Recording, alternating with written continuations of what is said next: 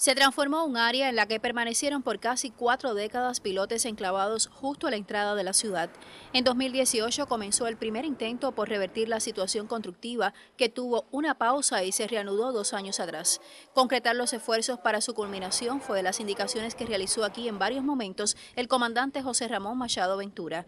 En visita a la provincia pudo constatar ahora la etapa conclusiva de esta edificación atípica de 36 apartamentos. Lo que faltan son tomacorrientes, interruptores, pluma de agua, y no es que falten, las tenemos, ¿me entiendes? Lo que la estamos poniendo, según va viendo agua para tú probarla, y los tomacorrientes, los interruptores, estamos probando y poniendo.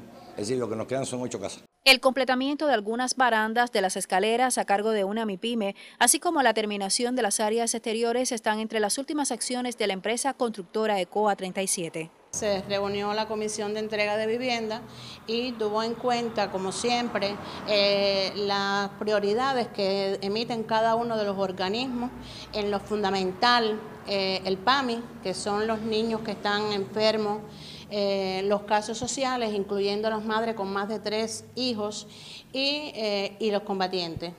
Además de eso, bueno, otros organismos que también tienen solicitudes, muchos de ellos cambios, que están solicitando cambios para bajar de piso, para incrementar, mm, que necesitan ampliarse porque viven hacinados.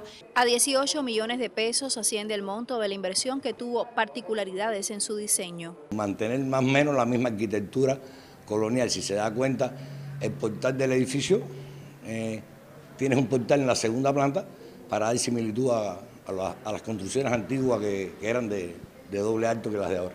Logra la provincia terminar una de las edificaciones más anheladas que beneficiará a varias familias y cambia la visualidad a la entrada de Cienfuegos. Mayelín del Sol, Canal Cubano de Noticias.